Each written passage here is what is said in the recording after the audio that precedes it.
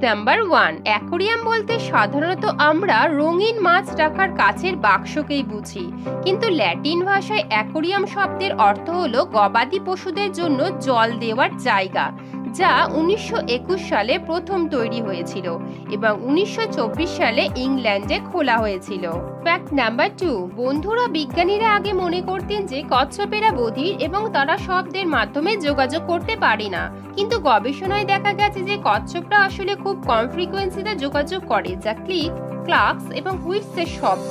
যা শুধুমাত্র একটি হাইড্রোফ্রেনের মাধ্যমে শোনা যায়, এমনকি কচ্ছপ ফুটে ওঠার আগেই ডিম থেকে এসব শব্দ আসে, যা আলাদা অন্যান্য কচ্ছপ ভাই বোনকে একেবারে ডিম ফুটতে সাহায্য করে। আমার ভিডিওটি আপনাদের জন্য একটু ইনফরমেটিভ হলে অবশ্যই চ্যানেলটিকে সাবস্ক্রাইব করুন, একটি লাইক দিন, এবং থ্যাংকস ফর ওয়াচিং